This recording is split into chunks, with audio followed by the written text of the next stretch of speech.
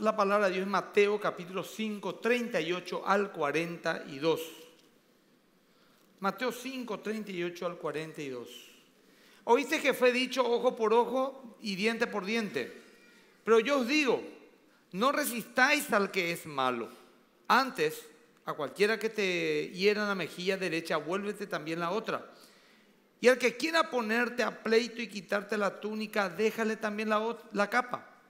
Y a cualquiera que te obliga a llevar una carga por una milla, ve con él dos. Al que te pida, dale, y al que quiera tomar de ti prestado, no se lo rehuses. Amén. Tal vez uno de los pasajes más difíciles de entender y aplicar en el mundo de hoy. El mensaje que vino, la palabra que vino desde el jueves a mi mente y el que le quiero transmitir hoy es este.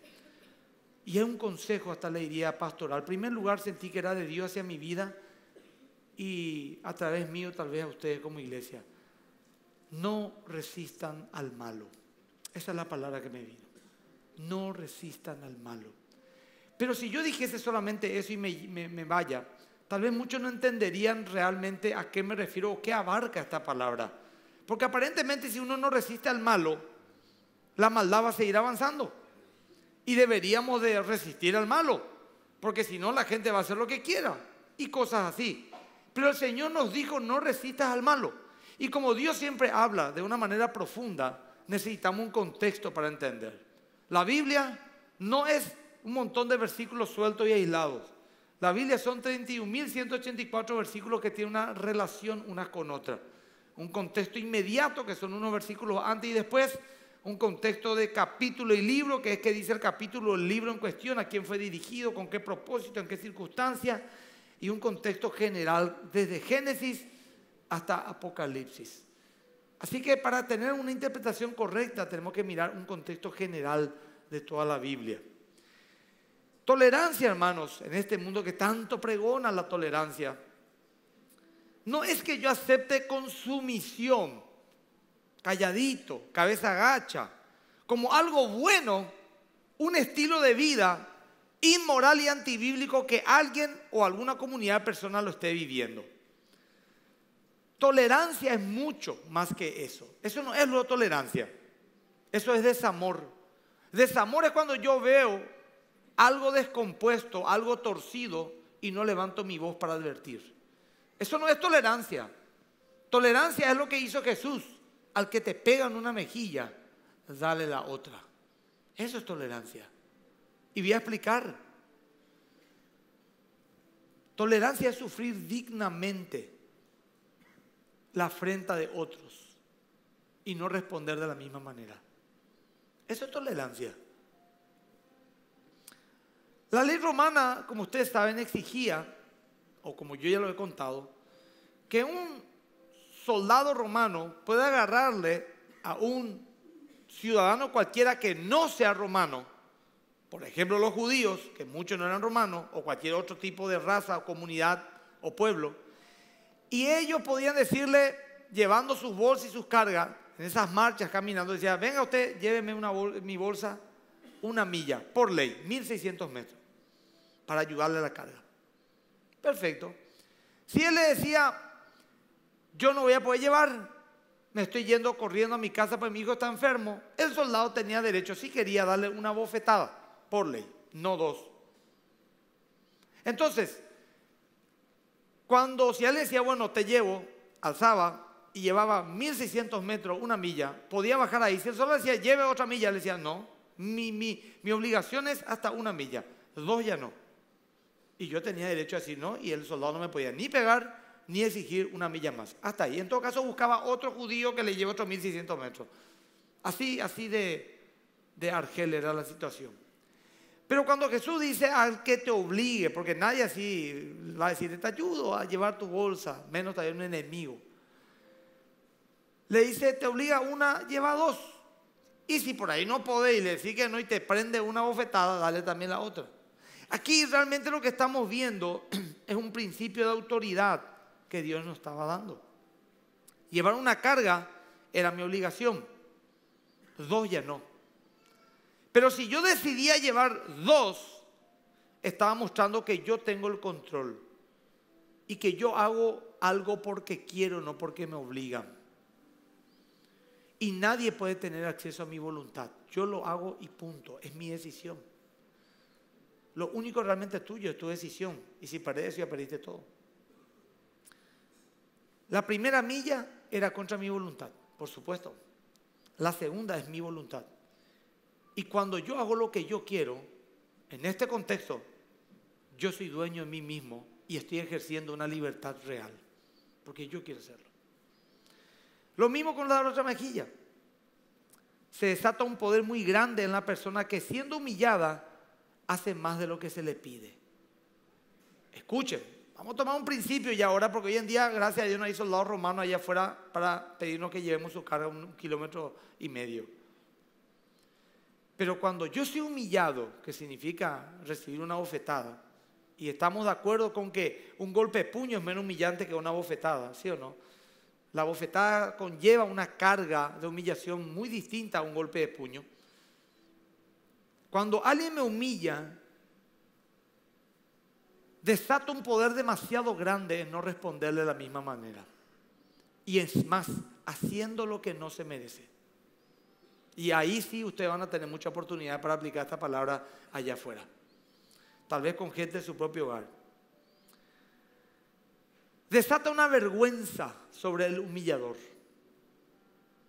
Lo deja aún más mal parado de lo que estuvo cuando te humilló. Desnuda con más claridad su maldad y su debilidad al hacer lo que hizo. A esto se refería Pablo cuando dijo en Romanos 12:20, dejen lugar que Dios haga su trabajo, no hagan ustedes el trabajo de Dios. Porque perdonando al que te maldice, bendiciendo al que te maldice, perdonando al que te ofende, ascuas de fuego amontonará sobre su cabeza. Esto significa que en, alguna versión dice, le pondrás roja la cara de vergüenza. Y volviendo a Mateo 5, 39 41 que hemos leído, vemos que el verso 39 nos enseña el Señor cómo reaccionar ante los insultos. Y es dando la otra mejilla, no dándole el mismo pago. Me dirás, pastor, cuesta, por supuesto, a la carne cuesta, al espíritu no. Es una formación de carácter. El mundo te dice, mientras le respondes con la misma palabra y más fuerte, tenés carácter fuerte. Si vos te callas, sos débil. Pero Dios al revés, Dios dice que sos fuerte si no respondes con la misma manera, de la misma forma, aunque por dentro estés explotando. Es una cuestión de carácter, pero no es por dentro explotar, la, plenitud se llega cuando uno lo hace y ya se olvida. ¿Me estoy explicando? Entonces, el versículo 39 nos da un principio de cómo reaccionar ante los insultos. En el versículo 40 dice, y al que te quiera ponerte a pleito y quitarte la túnica, déjale también la capa ante las injusticias. ¿Cómo reacciona ante la injusticia? De hecho, todos sufrimos en alguna medida algún tipo de injusticia. Voy a profundizar con este tema. Porque alguno dirá, entonces pastor puede ni uno, quítame la casa y yo no tengo que hacer nada. Te voy a explicar, por eso hay que mirar el contexto general. El principio vamos a quitar, cómo manejar las injusticias. Tercero, el versículo 41, cómo reaccionamos ante las incomodidades. Porque caminar una milla con una carga ajena no ha de ser algo cómodo. Entonces, el Señor nos dice, Cualquiera que te obligue a llevar una carga por una milla, ve con él dos. Acá el Señor nos da tres principios para tres circunstancias cotidianas en la vida de cualquier persona. la humillación o la difamación o la ofensa, la injusticia y la incomodidad. ¿Sí o no? Todas estas experiencias desagradables que existe ahora pueden llenar de amargura y resentimiento en nuestro corazón si no lo sabemos canalizar. Dígame si no es cierto. Cuando alguien te hace injusto, cuando alguien te humilla o te difama, o cuando alguien te quita tu comodidad. Créeme que puede llenar, si no sabes canalizar estos sentimientos normales y rutinarios, va a poder producir en vos una amargura y un resentimiento que puede llevarte a la muerte literalmente. Y créanme que las grandes barbaridades que la gente comete, según la Biblia, hasta las guerras, es por culpa de no saber canalizar nuestra frustración ante la injusticia. Hay gente que mata porque no sabe en su desesperación qué hacer ante tanta injusticia. Entonces el Señor nos dice, les voy a enseñar a canalizar para que en ustedes no haya amargura, para que ustedes sepan lidiar con ellas. Y como todos en mayor o menor grado pasaremos o pasamos por esta situación en la vida, es una fórmula muy válida para no amargarnos y volvernos igual a nuestros agresores. El verso 42, y leo, al que te pida, dale, y al que quiera tomar de ti prestado, no se lo rehuses. Jesús presupone que la persona que pide ayuda tiene necesidad genuina. Jesús presupone que el que te está pidiendo en este caso tiene una, necesidad real. ¿Y por qué esto tengo que aclarar? Porque muchas veces sabemos que nos miente o nos manipula. Y en ese caso el Señor no nos pide que demos. Porque los recursos no son ilimitados y hay que saber administrarlo. Y el Señor nos enseña en el contexto bíblico general que tenemos que tener sabiduría en administrar nuestros bienes. Y si vos te pasás ayudándole al vago, al manipulador, al ocioso, te puede llegar a faltar pan para tus propios hijos. Y el Señor dice que Él no provee en su casa. Es peor que un incrédulo. Pero sí, el Señor nos pide que ayudemos al que realmente tiene una necesidad genuina. Dentro de nuestras posibilidades, porque lógicamente tal vez no podamos ayudar a todos como querramos. Entonces, cuando el Señor dice al que te pide, dale, te habla de alguien que tiene una necesidad genuina y la mayoría de las veces podemos dar a alguien que tiene una necesidad. Y es más, yo me atrevería a decir con el respeto que me merecen ustedes y mi misma persona, que no todos damos todo lo que pudiéramos dar. Muy pocas personas realmente dan todo lo que pudieran dar. Me refiero a que si yo puedo dar 10, doy 8, 7, 5, 2. De lo que puedo dar sin que afecte mi economía ni mi vida. Me estoy hablando de eso, me explico. Pero hay un problema muchas veces, y acá está la milla de más. Muchas veces no sabemos genuinamente si esa persona necesita o no. A veces no sabemos, ¿será que es cierto? ¿Será que no es cierto? Y el Señor nos dice, ante la duda, da nomás. Escucha. Ante la duda, da nomás. Un dicho dice, es mejor ayudar a una docena de mendigos fraudulentos que arriesgar pasar por alto a alguien que realmente está necesitado. Porque por ahí a lo mejor vos creías que te estaba tratando de manipular, pero por ahí sí era cierto. Entonces el Señor dice, y ahí está una actitud del corazón. Da nomás lo mismo. Si te engañas, después pillas, ya sabes ya a quién darle a quién no. Yo, por ejemplo, suelo hacer esto porque yo como pastor, y créanme una cosa, todos los que lideran, alguien quiere liderar acá, alguien quiere liderar, con humildad diga, sí, yo quiero liderar, quiero influenciar. Prepárate, no hay líder yo, no tiene que haber líder yo. Imposible, líder político, líder espiritual, líder de comité, de vecinal, tiene que meter la mano en el bolsillo. Así es fácil el tema. Y a mí los hermanos vienen a pedirme muchas veces y está perfecto. A veces puedo ayudar, a veces no. Pero cuando pillo que viene un hermano que no, que no, o sea, que me quiere manipular. Y como puede quedar mal que él diga, le pedí al pastor un 100 mil y no me prestó. Y otro hermano que no sabe, pues, puede decir, qué miserable el pastor, este hermano necesita realmente. Entonces yo me veo obligado a darle. Pero la Biblia dice, si no das con amor, de nada te sirve. Entonces yo aplico lo que dice la Biblia. Le digo, bueno, toma, te doy te presto. Te presto. No te estoy ofrendando ni regalando, te presto. Cuando me devuelva este 100, ahí vení te he dado 200. Y nunca más. Me costó 100 mil mi paz. Sí, porque hay hermanos que necesitan. Y toda la hora nos vamos a un hospital. Y no podemos decirle, hermano, ¿qué dice la Biblia? Que Dios te bendiga, te sane. Tenés que preguntar, ¿y qué están? ¿Tenés alguna necesidad? ¿Para qué lo preguntas? Si o sí tiene una necesidad. Aunque sea para su comida, tenés que dejarle. Y tenés 10 por, por, por semana, 50 por mes.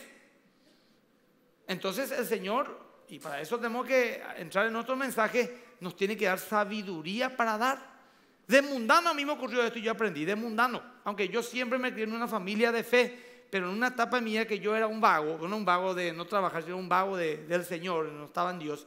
Vino un amigo y me dijo, che, estoy con una amiga allá afuera, me, entró en mi negocio, préstame tanto ahora mismo, ya saben para qué era.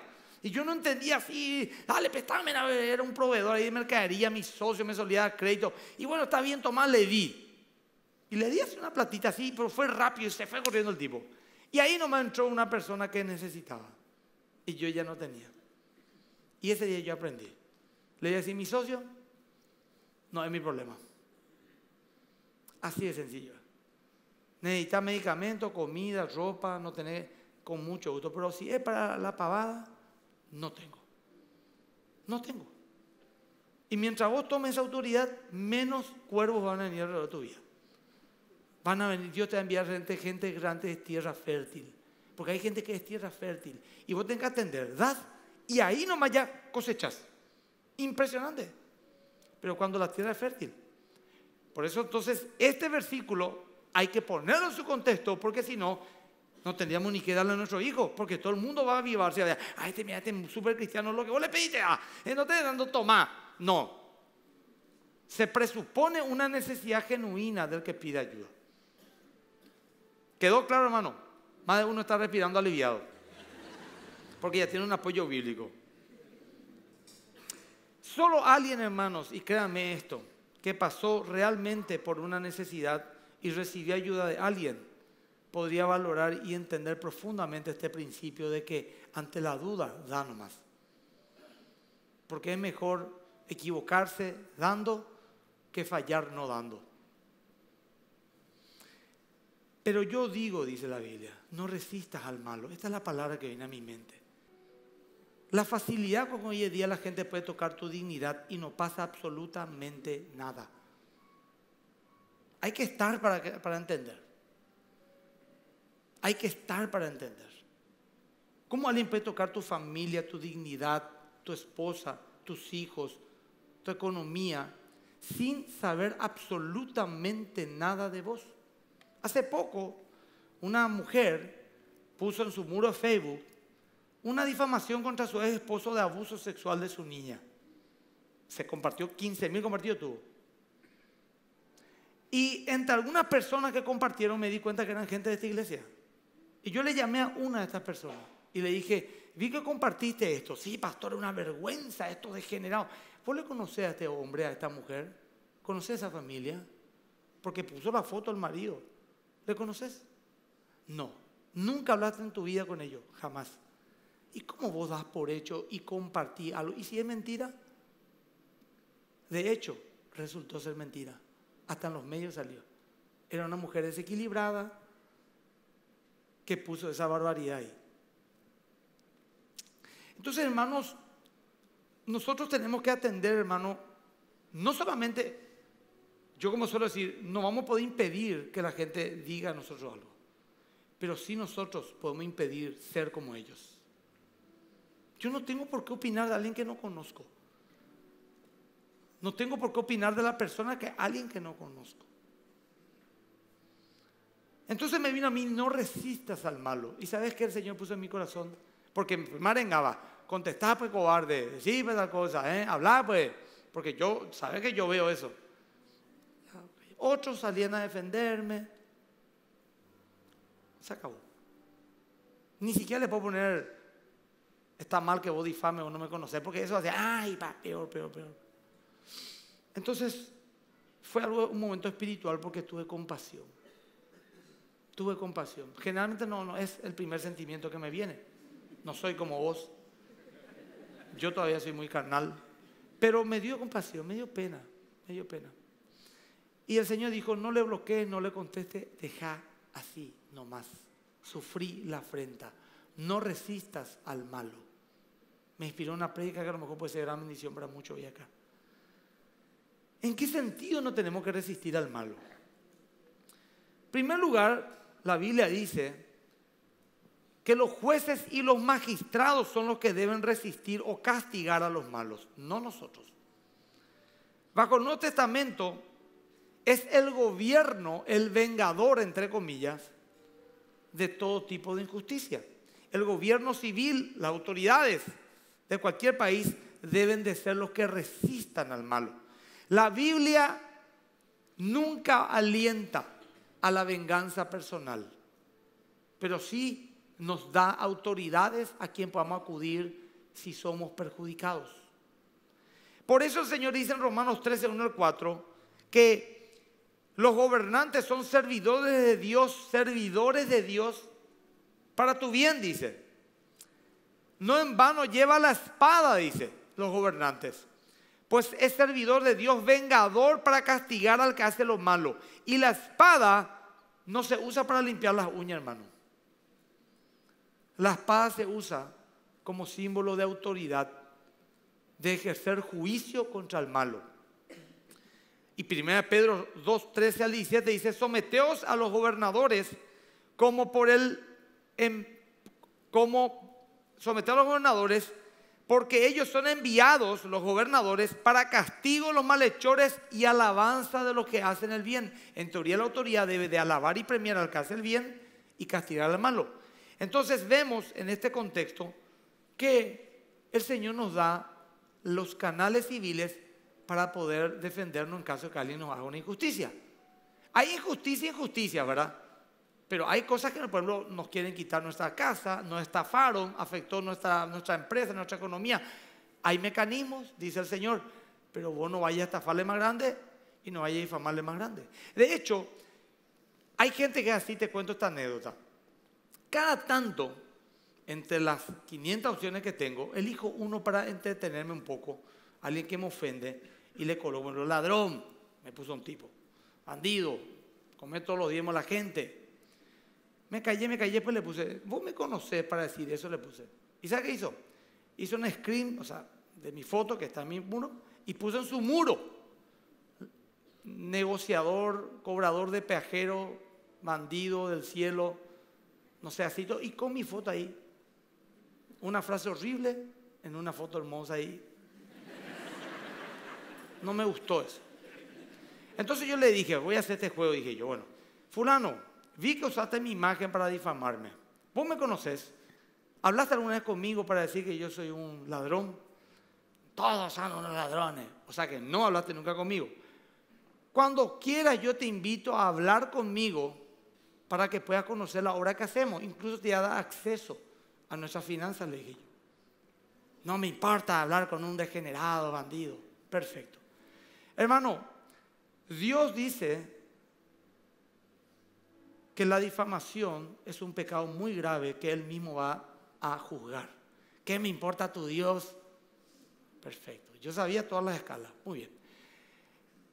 La señorita fulana de tal, y lee el nombre de una escribana de la iglesia, con dirección cito en tal lugar, ya hicimos el screen de pantalla, te va a estar visitando para que vos te rectifique o te ratifique, porque esto es difamación y calumnia.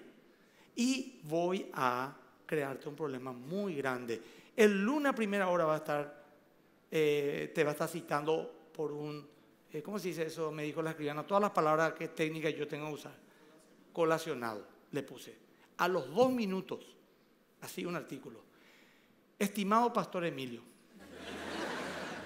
tenga bien saber entender las emociones que muchas veces nos traicionan. Jamás osaría de manera racional hablar mal de usted y de su loable obra a favor de la comunidad. Actué impulsivamente, por lo tanto le ruego perdón y me retracto de toda palabra que pudo haber hecho. La siguiente foto mía era poniendo adelante el pastor más lindo del Paraguay.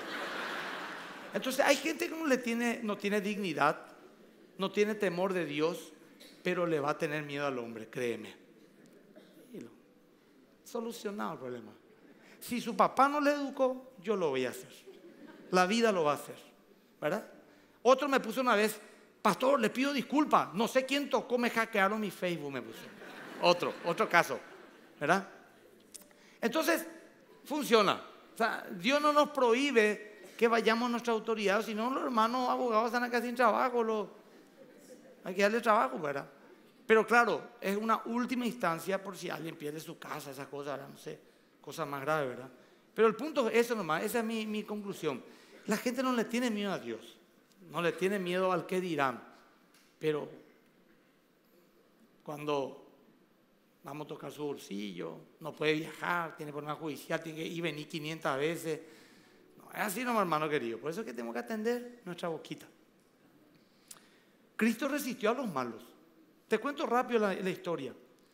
Él llegó al templo, echó todas las mesas, hizo volar las palomas, esparció las monedas en el templo, porque estaban ahí los estafadores que mentían al pueblo, que engañaban al pobre. Ahora, este hecho siempre es un poco juzgado como un acto violento de Jesús, como si él era puro paz y amor va a hacer eso. Pero parece que sí, ¿verdad? Pero en realidad, él echó las cosas. Él no le pegó a la gente. No es que rompió el pómulo de alguien, le, prendió un cachiporrazo a alguien por su cabeza le cortó el cuero cabelludo a otro, no. Pudo haberlo hecho también, si es que era agresivo. Él echó las mesas, abrió las jaulas, salieron las, aves. Y esto es importante entender porque Jesús tuvo y su reacción se debió a una indignación profunda, a un celo por lo que habían convertido el lugar santo, que era su casa, él era Dios, el dueño de todo eso, y manifestó una reacción de indignación que no tiene por qué ofender a nadie. Si nosotros conocemos el contexto y el carácter de Dios, que también se aira, pero que no peca. Es como ponerlo en tu casa un día esto encontrás a una persona agarrando tu televisor, tu equipo, y bueno, trae encontrar en esas condiciones, y vos le vas a decir, disculpe caballero, ponga eso por favor ahí. No, ¿verdad? Vamos a suponer que por las cámaras se ve que vos te asustás y te abalanzás sobre tu televisor y empezás a pujar su televisor hasta que le quitas y defendés y el otro te quiere quitar y vos ni un momento le agrediste a él, querés cuidar tus cosas. En tu casa, de un ladrón, ¿vos sos una persona airosa, pecadora e indigna por eso? ¿Somos nosotros? Esa era su casa. Estaban robando asquerosamente. Ahora yo quiero aclarar que vender cosas en la iglesia no es lo mismo que esto, porque ahora justo estamos vendiendo eh, empanada en Bellú y la gente están convirtiendo en... No, en aquella época estaban, ¿sabe cómo era el, negocio? Se ponían ahí los, los usureros que cobraban altos intereses al pobre, injustamente. Y le decía al pobre, yo voy comprar, eh, voy a ofrecer al Señor una oveja. Y le compraba a la gente la oveja. Y la oveja tenía así sin mancha, puro, o sea, blanco, blanco, blanco, sin mancha. Entonces, ¿qué pasa? Le compraba por un precio injusto, y se iba le llevaba al sacerdote para sacrificar. El sacerdote tenía que corroborar que el cordero estaba en condiciones de sacrificado. Y decía, no, este tiene acá una manchita, mira, tiene dos pelitos negros. Tiene que ir a devolver. Pero ya compré, ya, anda a devolver. Se va y dice, acá está. Tengo que devolver otro. No, pues ya compraste ese. Y bueno, te compras otro entonces. Y a la noche, ¿qué hacía? El sacerdote agarraban las mismas ovejas que ya desecharon ellos y volvían a poner todo en el corral para vender al día siguiente. Y era una estafa. No es lo mismo que vender empanadas, que un servicio que le damos a la gente para recaudar fondos para un evento de la iglesia o para ayudarle a un hermano que está en necesidad o para lo que fuera. Acá nadie se está haciendo rico, ni engañando, ni estafando a nadie. Ahora, si por ahí esa empanada vale 20 mil cada uno, y la diferencia va a ser para, no sé, para la casa nueva del pastor, y yo le digo que para el terreno al lado, es sí una estafa. Eso sí, ya es para echar todo, y, pero no es el caso. Entonces también explico porque yo he tenido gente y en ignorancia, ¿verdad? Con todo respeto, que me han dicho, pastor, usted no tiene que permitir que el pororó venda ahí al frente porque eso es negociar en la casa de Dios y Dios echó todas las mesas. No, es lo mismo, está trabajando el prójimo. Lleva el pan de cada día y le bendice que nosotros comamos pororó y le pagamos y ya está. No, no está mal. Eso no es hacer, hacer casa de cueva de ladrones la casa del Señor, vender unas empanadas. Me estoy explicando, gente, lo que le digo. Les doy una instrucción para que usted entienda, ¿verdad? Ahora, si usted pueden tomar la decisión que quieran. La reacción de Jesús no fue desproporcional de ninguna manera a la injusticia que le estaba ocasionando esa situación. Peca el que reacciona desproporcionalmente. La misma ley nos dice, ¿qué pasa si entra un ladrón en tu casa? Y en la casa vos le pillas, te quita un revólver vos quitas más rápido y le matás. Para la ley vos no estás condenado por asesinato ni para Dios tampoco, dice Levítico, que cualquier hombre que entrando, encontrando en su casa un agresor y corre riesgo su bien y su familia, le mata en defensa propia, no le será tenido en cuenta como pecado ni será condenado. Pero ¿qué pasa si el ladrón tira tu televisor, se va corriendo y allá vos le seguís y a dos cuadras de tu casa le balea por la espalda? ¿Sabes qué? Vas a ser culpable de asesinato. Eso dice la ley. Porque se presupone que la vida de él, por más ladrón que sea, vale más que el televisor que iba a robarte. Y ya no corría peligro tu vida. ¿Me explico lo que te digo? Entonces atender nomás, no te vuelvas loco en una esa y no vayas a hacer una barbaridad porque te ir preso. Si corre y se va y deja tu casa libre, no te hagas el héroe. Deja nomás que se vaya, ya Dios sabrá qué hará. ¿verdad? Y si tu familia corre peligro y corre la vida de peligro, tu familia, tu esposa, tu hijo o ese hombre y vos tenés la oportunidad de defenderte, no va a ser pecado que lo hagas. Esto es algo así bien bíblico, bien certero, hay que poner un equilibrio también, porque si no, la gente puede equivocarse. Jesús ofreció, eh, en este caso, ofreció resistencia. Primero, porque Él era como Dios dueño de ese lugar. Y segundo, al ser dueño, Él tenía autoridad como nosotros lo tenemos de defender nuestros bienes, pero no lo hizo con odio ni con un espíritu vengativo. Resistimos a los malos. ¿Cómo? ¿Cómo resistimos a los malos? ¿Debondeándole con la misma moneda? No. Resistimos al malo, como dice la palabra en 2 Timoteo 4, 2 al 5. Resistimos al malo exponiéndole su error y diciéndole su pecado. Así se resiste al malo. Y te voy a mostrar lo que dice 2 de Timoteo 4, 2 al 5. Predica la palabra, insta a tiempo y fuera de tiempo, redarguye, reprende, exhorta con toda paciencia y doctrina porque vendrán tiempos cuando no sufrirán la sana doctrina, sino que teniendo comezón de oír, se amontonarán maestros conforme a sus concupiscencias y apartarán de la verdad el oído y se volverán a la fábula. Pero entonces, ¿qué tenemos que hacer? Predicar la palabra. Predica la palabra. ¿Qué dice? Eh, segunda de Timoteo 2.24. Dice, porque el siervo de Dios no debe ser contencioso, sino amable para con todos, apto para enseñar sufrido, que con mansedumbre corrija a los que se oponen, por si quizás Dios eh, les conceda que se arrepientan para conocer la verdad y escapen del lazo del diablo en el que están cautiva voluntad de él. ¿Qué tiene que hacer el siervo de Dios? Vos y yo somos siervos de Dios. Con mansedumbre, corregir el pecado. ¿Sabe cómo se resiste al malo? exponiéndole la palabra de Dios y diciéndole lo que estás haciendo está mal. Hasta ahí Dios te permite, pero con mansedumbre, con amor. Eso es resistir el mal. Ahora, Dios no nos pide que estemos pasivos ante el mal y ante la injusticia o la mentira. No nos pide que nos callemos nomás así, que pase todo lo que tenga que pasar. Él quiere que peleemos con sus armas que son más efectivas que las nuestras y garantizan victoria con su palabra. Ahora, resistimos a los malos cuando practicamos disciplina en la iglesia. Cuando la iglesia es disciplinada, cuando la iglesia es ordenada, resistimos al malo porque el malo no tiene cabida en este lugar. Nosotros hemos tenido casos en que tuvimos que pedirle a la gente que se vaya a este lugar.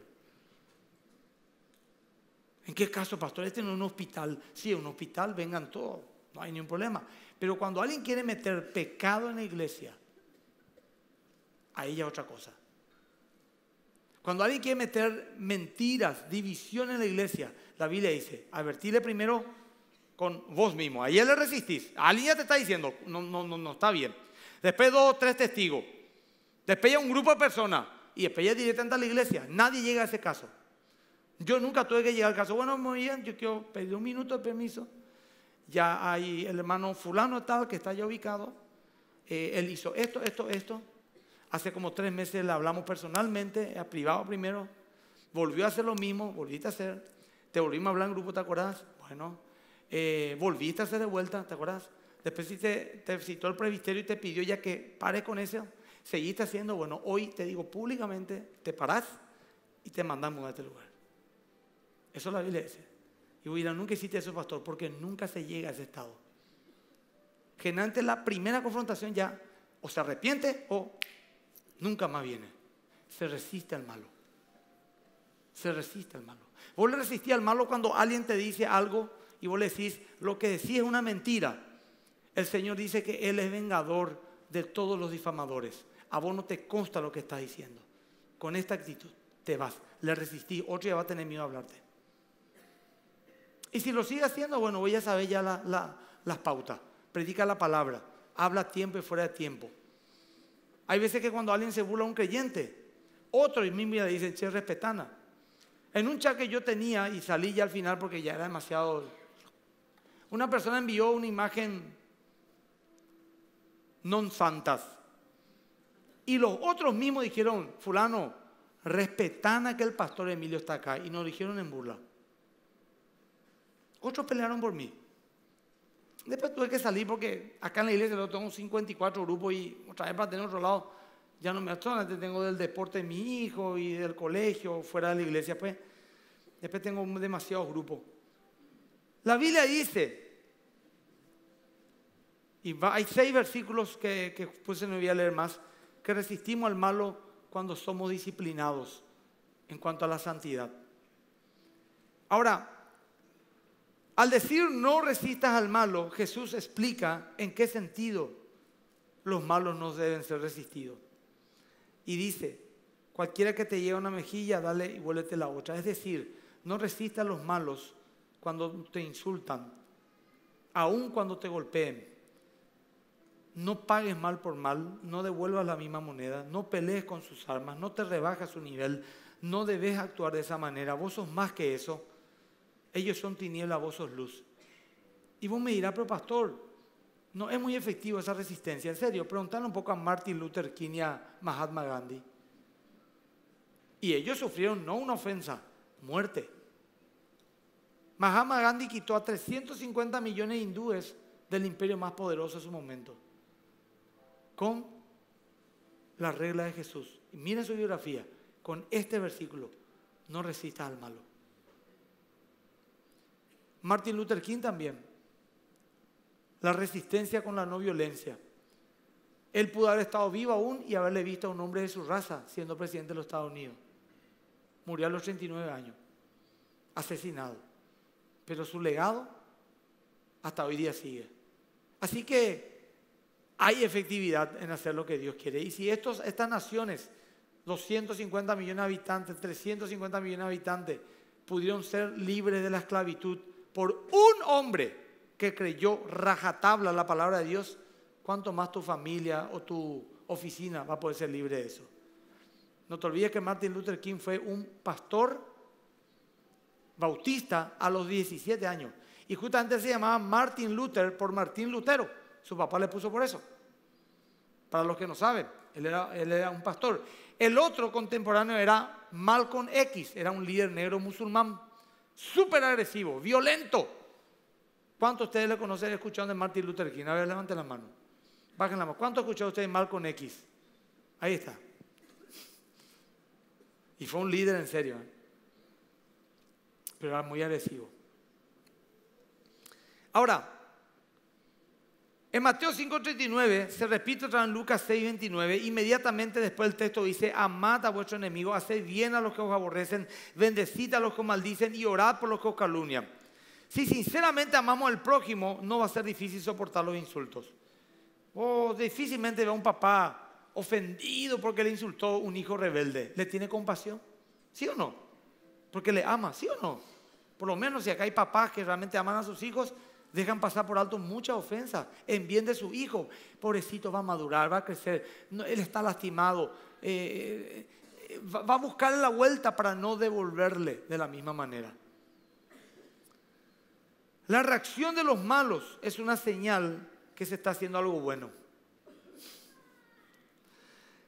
Como no tienen de dónde tomarse, mienten. ¿Sí o no? ¿Y qué dijo el Señor? Bienaventurados sois cuando por mi causa os vituperen y digan toda clase de mal contra vosotros, mintiendo.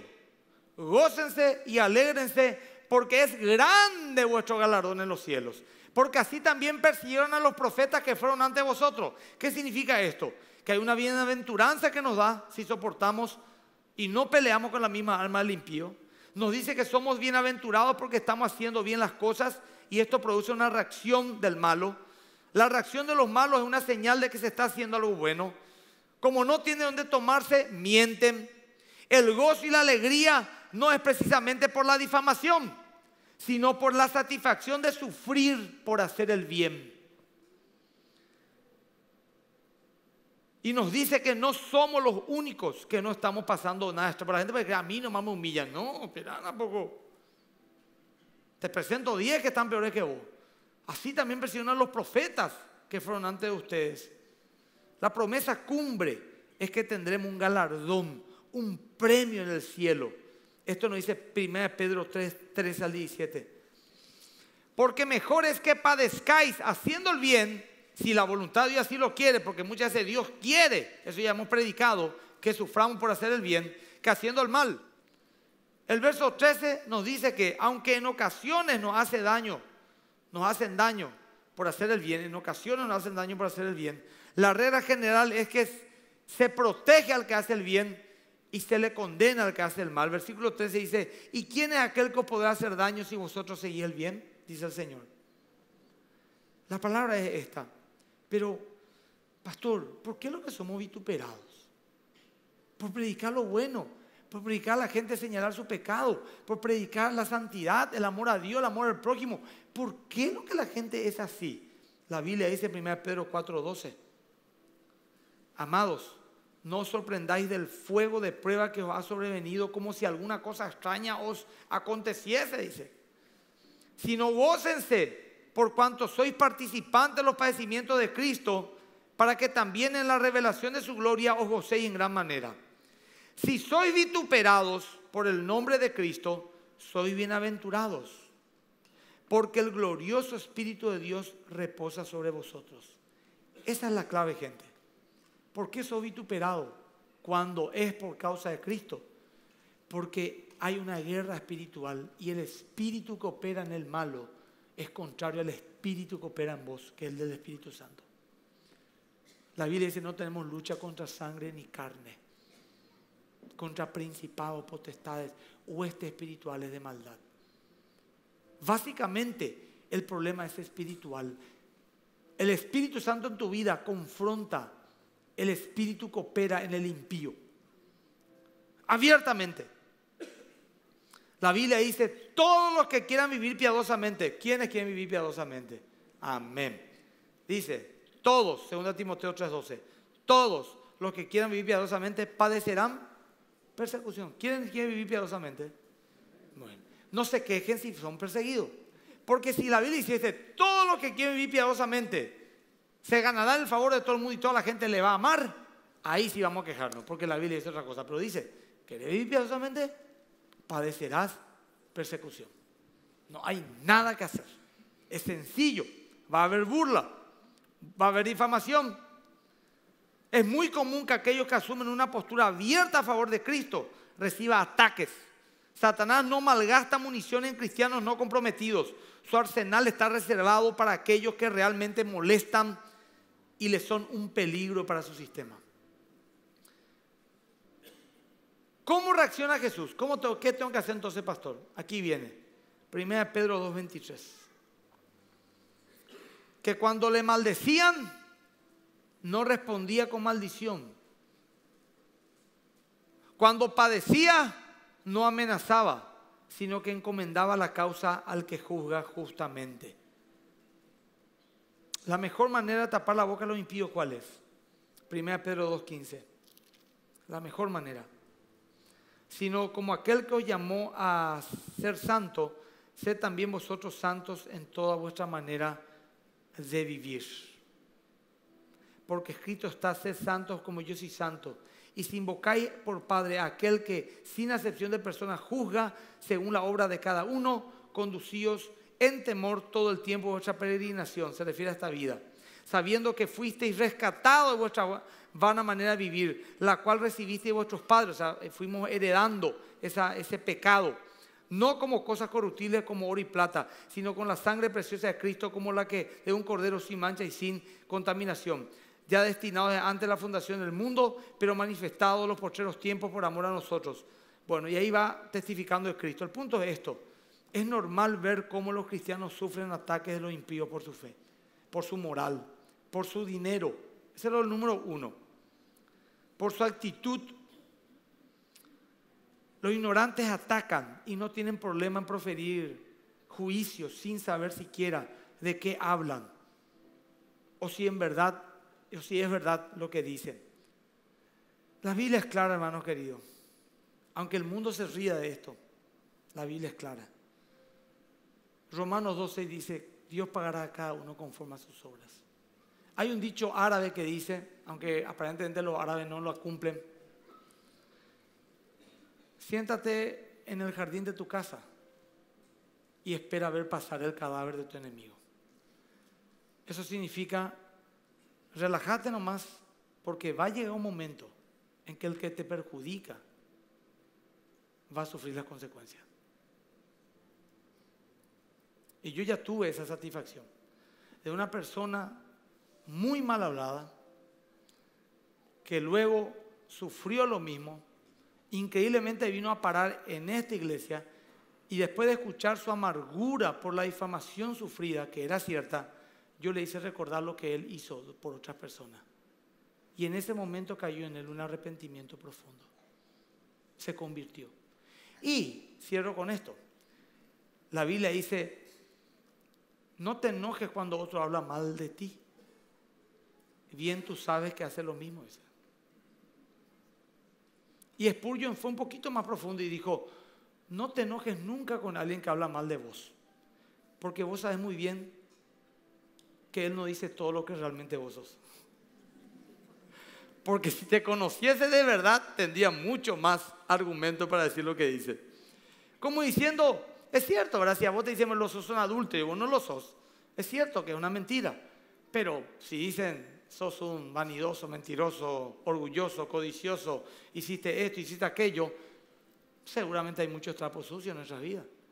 Pero es un mecanismo nomás de defensa. Ahora, ¿qué hago yo con aquel que me ofendió, pastor? Para que no te amargue, y créeme que no soy extraterrestre, soy un ser humano y entiendo lo que te digo. Para que no te amargue alguien que te difamó, tenés que hacer esto. Cada vez que te estás enojando, que te está viniendo a la cabeza lo que dijo, y está, viste que a veces ensayamos conversaciones, después nos enojamos más grande y nadie estaba ahí, nosotros solo más y nos peleamos con todo el mundo y nada no pasó. No imaginamos. Bueno, ¿sabes qué tenés que hacer?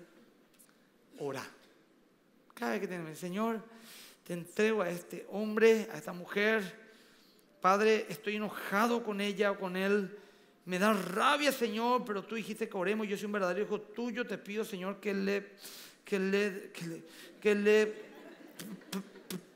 perdones y, después ya va a fluir. Yo le perdono. Y te vas a dar cuenta que va a empezar a tener un alivio tu corazón. Te vas a sentir con autoridad. Porque eso dijo Jesús cuando echó todo. ¿Sabe qué? Él enseñó. No podemos ver el contexto. Y después de que le dijo el Señor, le dijeron los otros. Tú enseñas como quien tiene autoridad, le dijo. No es que le dijo, que es ubicado que eso para echar todo. No, él le dijo, vos cuando haces algo, haces con autoridad, le dijo. O sea que él hace las cosas con justicia. Y créeme que una boca que no responde de la misma manera. Yo a veces veo tan en las redes sociales, por ejemplo, alguna autoridad ponerle a alguien, amigo, que esto, que aquello. Y le contesta, ponerle, diga, fulano, realmente no es así como vos estás diciendo. Lo que pasó fue esto y le explica y el otro, eh, eh, ¿Quién lo que queda como el chabacano, el desubicado? Acá está una vez mi madre, Pablo, le voy a contar un último testimonio. Ya me pasé la hora, pero no importa, cinco minutos más o menos. A mamá, una vez vino una de a contarle y vino todo golpeada, que le pegaba a su marido. Y le dijo, es un bandido, es un promiscuo, es un de... de aquello". Y mamá, "Ay, vamos, vamos a lincharle, mamá. Pero vamos a hablar con el tipo. Y vino, Añares. Y vino el tipo. Permiso, permiso, Ñacabi. Cierto, año paso Ñacabi le pegué, pero me siento mal, perdón, tuve este problema. No voy a más hacer nunca más. Ella es una gran mujer, ella es una excelente esposa, ella es una gran... Yo soy el malo, yo soy el bruto, yo soy... Y mamá me dijo, pues, ¿sabe qué? Me quise poner al lado de él y ya me enojé con la señora, que es la víctima. O sea, ¿qué significa eso, más allá de la anécdota? Hay un poder que se desata en vos cuando sos humilde, reconocer tu error o no responder de la misma manera, incluso atender al loco cuando vos sos culpable. ¿Cuánto más si sos inocente? ¿Cuánto más si sos víctima? Porque sabes que la gente sabe. Escúchame un poco lo que te iba a decir. La gente sabe. Vos no te preocupes eso. Entregar la causa, eso es orar. Al que juzga justamente. Y acordate de mí que posiblemente el día de mañana más de uno de tus difamadores hoy a lo mejor va a encontrar a Cristo a través de tu vida. Y va a ser tu hijo espiritual. Acá tengo casos. Que decía a su esposa, te hace esa iglesia, ese bandido, ese esto, ese aquello. Y durante años la esposa me volvía loco con el marido. Y dice de vos, pastor, que son bandidos. Y dice vos, yo, ala. Hermana, no me cuentes más eso, no, porque te quiero contar para que sepa qué bestia que este hombre es. Y después el tipo viene a la iglesia, yo le veo así, ya. Y después viene dos, y viene tres, y después me dice, mi esposo quiere conocerte. Me voy, ¿qué tal, pastor? Me invita como un asadito, me da a su casa. Mi socio. Y esa rabia que tenía ahora se convirtió en, le quiero más y que ahora porque ella es mi partner, ya, ¿entendés? ¿O no es así? Así que dejar las cosas en la mano de Dios. No resista al malo. Al que le sirva que tome esta palabra, hermano querido, para que no haya amargura en nuestro corazón. Pónete en pie, por favor. Gracias te doy, Padre, por este tiempo. Gracias. Bendecimos a los que nos maldicen, Señor. A mí me están viniendo tres, cuatro nombres ya en mi mente, no sé a vos. Vamos un poco a orar. No vayan nomás a nombrar alta su nombre, por favor. Pero vamos a orar, dos minutitos más, vamos a orar, vamos a orar. En serio, quiero que todo el mundo empiece a hacer ese ejercicio. Hay gente que tiene que perdonar a su cónyuge que le fue infiel, a su jefe que no le pagó, a su amigo que le estafó. Vamos a orar, dos, tres minutos, vamos a orar ahora.